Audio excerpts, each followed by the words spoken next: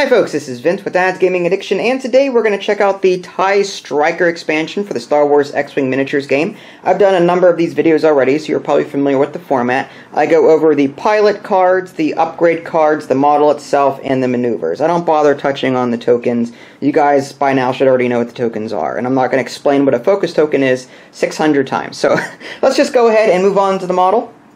This is what it looks like. There's the top. And here's what it looks like from the front. From my understanding, this is an atmospheric fighter. This was in the Rogue One movie. Don't know too much about it. I just got these uh, expansions in the mail today. Um, I also uh, got some other ships, which I'll be covering shortly. Now, as far as the pilots are concerned, let's go ahead and start with those. Alright, so we've got the Duchess, pilot skill of 8, 3240 are the stats on this. And the special ability is when you have the adaptive Ailerons upgrade card. I don't know what that is. Uh, you may choose to ignore its card ability. In fact, it may be down here somewhere in the upgrade deck, so we'll check that out shortly. Focus, barrel roll, and evade. It has the elite upgrade here and a cost of 23 points. The next one is Pure Sabacc. I remember Sabacc from Knights of the Old Republic, KOTOR. It's a PC game I used to play. Anyway, it, it was a card game. Uh, six pilot skill. When attacking, if you have one or fewer damage cards uh, roll one additional attack die. Okay. You've got uh, 22 squad cost and the elite symbol down here as well. Next up is Countdown. Pilot skill of 5, no upgrades, cost of 20, special ability. When defending, if you are not stressed, during the compare results step, you may suffer 1 damage to cancel all dice results. If you do, receive 1 stress token. Huh. And last but not least, Black Squadron Scout is a no-named, no-ability thing. Pilot skill 4. It has an upgrade, though, which is very strange. Uh, you'd think that Countdown would have one, too, seeing it has a higher pilot skill, but whatever. Cost of 20. Oh, there's also this Scarif Defender. I thought that was it. Oh, there's more. Check that out. Okay, normally there's only one named no named, but th in this case there's three of them. It's interesting. A Scarif Defender, pilot skill 3, cost of 18. No ability. And the Imperial Trainee. This is, I guess, the Alpha Squadron pilot equivalent. Uh, pilot skill 1, cost of 17, no upgrades or anything like that. Comes with a few reference cards, modification and upgrades, and Segnor's Loop. Speaking of Segnor's Loop, why don't we check out its uh, maneuvers? Alright, so I, I, saved this. Usually I throw these away, but uh, you can see it doesn't go above speed 4, which may reflect the fact that it's, you know, more of an atmospheric fighter.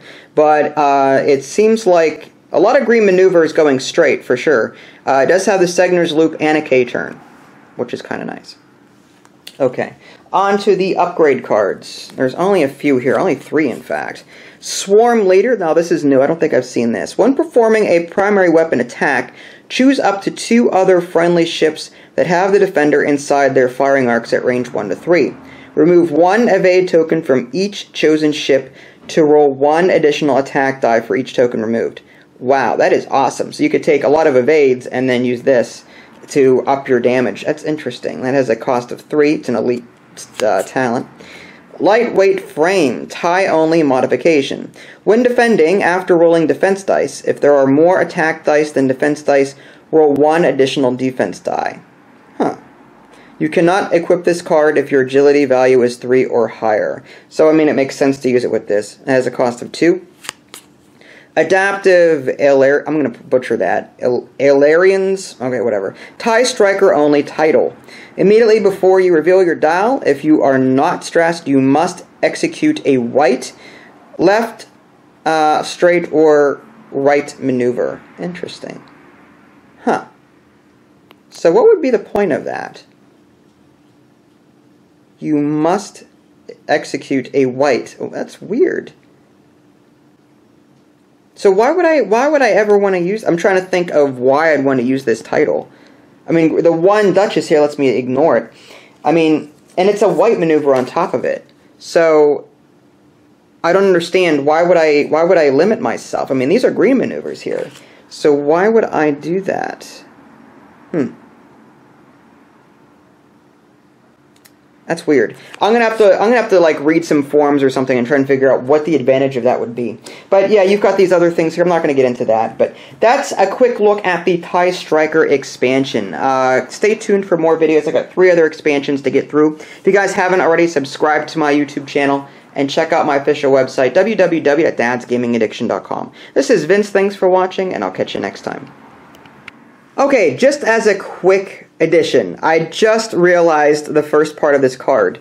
Immediately before you reveal your dial, if you are not stressed, you must execute. So this will let you move twice, basically. So that is the advantage of having this title. But um, let's say, like sort of like when you're cloaked with a TIE Phantom, uh, you know, you have the option to decloak you move once and then you execute. Similar to this, but you must do it if you have it equipped. The Pilot here, the Duchess, lets you ignore that. So you don't have to use this title if you don't want to.